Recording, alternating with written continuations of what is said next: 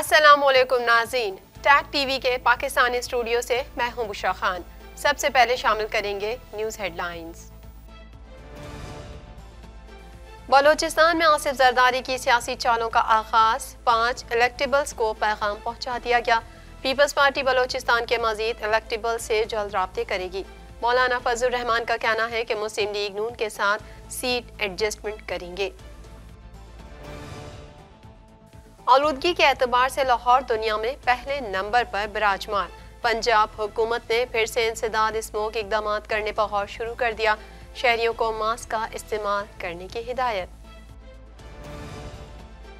दहशत गर्दों के लिए मार्च करने वालों को सहूलत कार समझा जाएगा।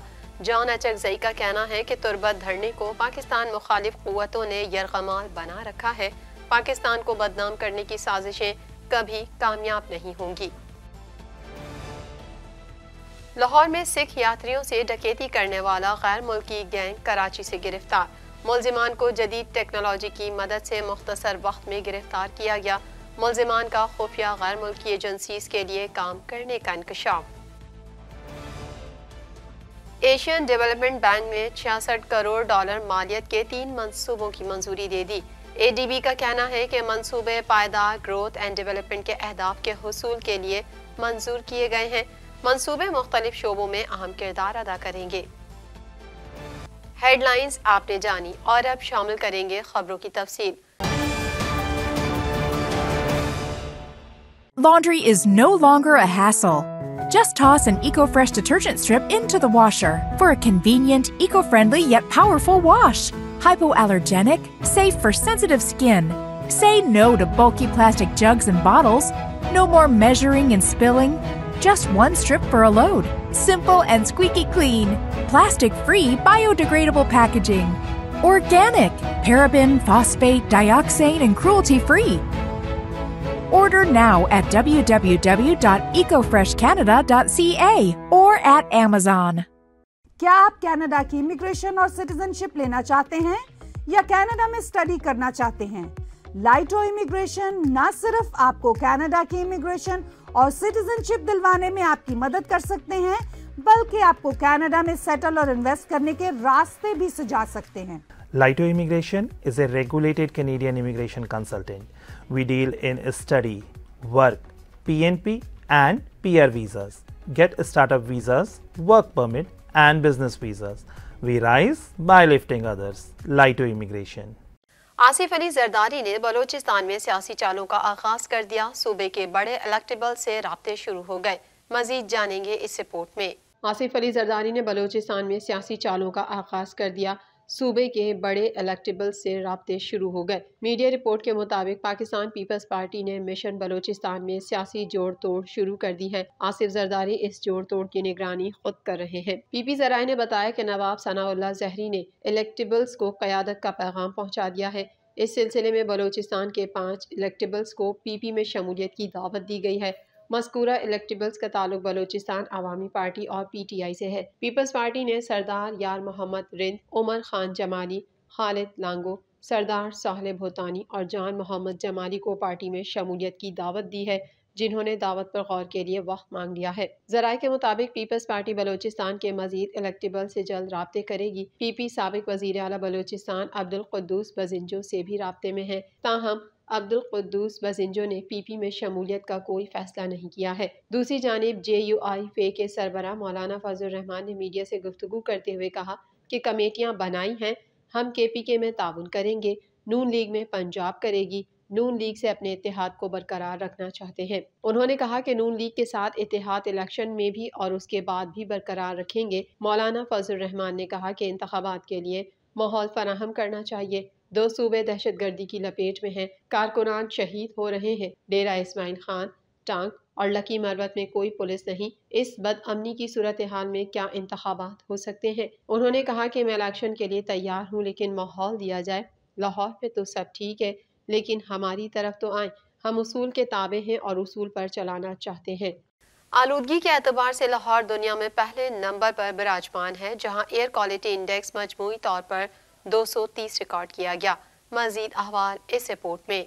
आलूदगी के एतबार से लाहौर दुनिया में पहले नंबर पर विराजमान है, जहाँ एयर क्वालिटी इंडेक्स मजमू तौर पर 230 रिकॉर्ड किया गया। तफसीत के मुताबिक लाहौर में फ़िज़ाई आलूदगी का राज बरकरार है, जहाँ एयर क्वालिटी इंडेक्स मजमू तौर पर 230 हो गया है, जिसके बायस फ़िज़ाई आलूदगी में भी लाहौर दुनिया के शहरों में सर फहरिस्त है। शार कायद अजम पर एयर क्वालिटी चार सौ चौबीस से तजावज़ कर गया, जबकि डी एच ए के इलाके का एयर क्वालिटी इंडेक्स तीन सौ तैंतालीस कैंट के इलाके का एयर क्वालिटी इंडेक्स तीन सौ तेरह रिकॉर्ड किया गया और माल रोड के इलाके का एयर क्वालिटी इंडेक्स चार सौ पहुँच गया है। लाहौर में सर्दी में इजाफा हो गया है और शहर का मौजूदा दर्जा हरारत दस सेंटीग्रेड रिकॉर्ड किया गया। पंजाब हुकूमत ने फिर से इंसदाद स्मोक इकदाम करने पर गौर शुरू कर दिया है और शहरियों को मास्क का इस्तेमाल करने की हिदायत की है। वज़ीर इतलात बलोचिस्तान जॉन अचकजई ने कहा है कि दहशत गर्दों के लिए लॉन्ग मार्च आवाम की खैर ख्वाही नहीं।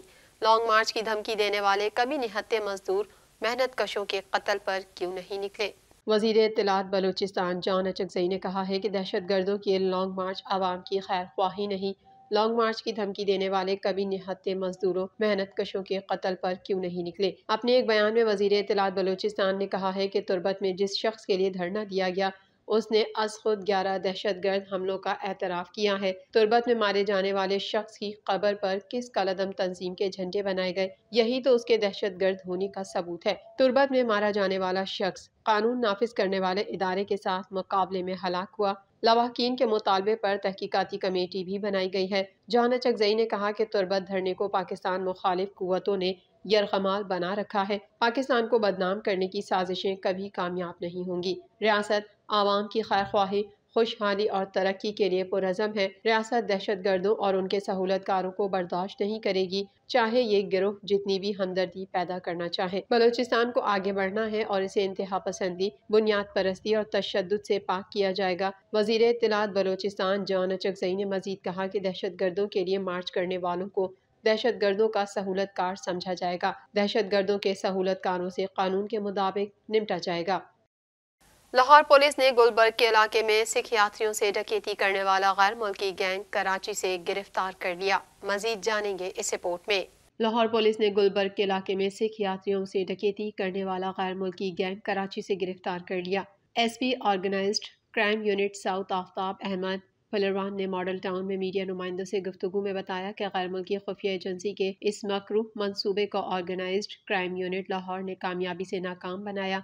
मुलजिमान को जदीद टेक्नोलॉजी आई टी एक्सपर्ट्स वी फुटेज पब्लिक रिलेशंस और तजर्बाकार अफसरान की मदद से मुख्तसर वक्त में गिरफ़्तार किया गया। S P organise crime unit south Aftab Ahmed फलरवान ने लाहौर में प्रेस कॉन्फ्रेंस करते हुए बताया कि मुलजिमों को कराची से गिरफ़्तार किया गया। उन्होंने कहा कि दौरान तफ्तीश मुलजिमान ने खुफिया गैर मुल्की एजेंसीज के लिए काम करने का इंकशाफ किया है। मुलजिमान में सरगना शाहरुख रेहाना, शाहरुख और मोहम्मद इरफान शामिल हैं। मुलजिमान ने यह भी इंकशाफ किया कि वो वारदात के फौरी बाद गैर मुल्की खुफिया एजेंसी को इतला देते ताकि दुनिया में पाकिस्तान की साख मजरू हो। मुलजिमान मुख्तलिफ़ फोर्सेज की यूनिफॉर्म पहनकर पाकिस्तान में आए और यहाँ गैर मुल्की शहरियों से तलाशी के बहाने वारदातें करते थे। S P organise crime unit south के मुताबिक मुलजिमान गैर मुल्की खुफिया एजेंसी के कहने पर पाकिस्तान आए। सिख यात्रियों से वारदात करते और फरार हो जाते। मुलजिमान का ताल्लुक पाकिस्तान के हमसाया मुल्क से है। मुलजिम वारदात के फ़ौरन बाद गैर मुल्की खुफिया एजेंसी को इतला देते ताकि दुनिया में पाकिस्तान की साख मजरू हो। उन्होंने बताया कि मुलजिमान मुख्तलिफ़ फोर्सेज की यूनिफॉर्म पहनकर पाकिस्तान में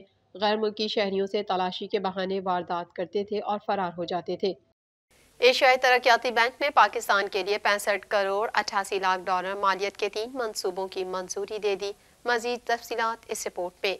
एशियाई तरक्याती बैंक ने पाकिस्तान के लिए पैंसठ करोड़ अट्ठासी लाख डॉलर मालियत के तीन मंसूबों की मंजूरी दे दी। एडीबी की जानब से तीस crore dollar improved resource mobilisation and utilisation reforms programme के लिए मंजूर किए गए हैं, जबकि साढ़े सत्ताईस करोड़ डॉलर की इजाफी फाइनेंसिंग सिंध के लिए जाति Sindh secondary education improvement project के लिए मंजूर की गई है। इसके अलावा आठ करोड़ डॉलर का रियायती कर्जा Khyber Pakhtunkhwa food security support project के लिए मंजूर किया गया है। ए डी बी अलामियों के मुताबिक मनसूबे पायदार ग्रोथ एंड डेवलपमेंट के अहदाफ के हसूल के लिए मंजूर किए गए हैं। मनसूबों के तहत मकामी वसाइल को मुतहरिक बनाने, सैलाब से मुतासर होने वाले स्कूलों की बहाली और फ़ूड सिक्योरिटी बेहतर बनाने के लिए जेरा पैदावार बढ़ाने पर फोकस किया जाएगा। पाकिस्तान को मिलने वाली फाइनेंसिंग गुजशत साल आने वाले सैलाब से होने वाले नुकसान के असरा से निकलने और वापस तवील मयाद तरक्की की राह पर आने में मदद मिलेगी।